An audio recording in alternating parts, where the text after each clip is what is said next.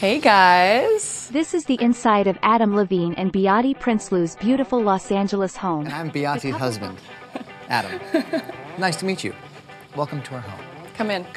The property has a total of seven bedrooms and 12 bathrooms. Here it is.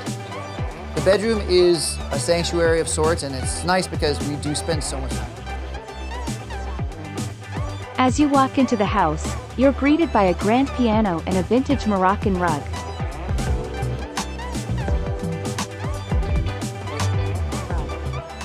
The home has floor-to-ceiling windows with stunning views of the city. The couple bought the house for $32 million in a bidding war. Huge architecture fan. We love the fact that it's one story, super cozy, and I think it's super beautiful.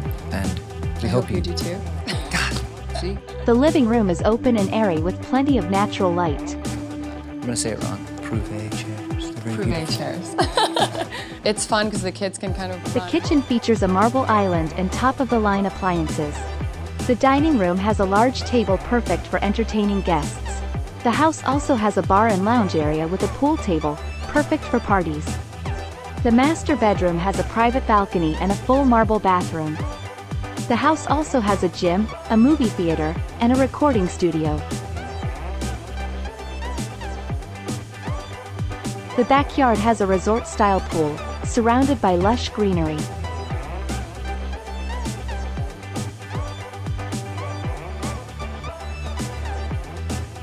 The outdoor space also features a basketball court and a separate guest house. The home is decorated with modern art and mid-century furniture. The house has a warm and cozy feel with plenty of spaces to relax.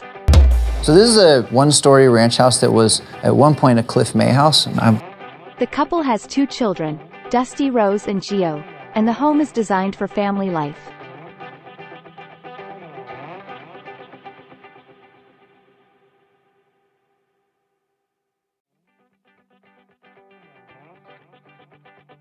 Adam and Behati's stunning Los Angeles home is the perfect blend of luxury and comfort. see, see, she does it for me.